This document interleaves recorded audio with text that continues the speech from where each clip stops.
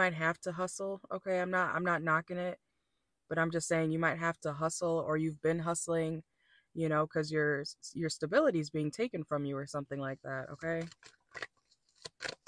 Some big part of your stability.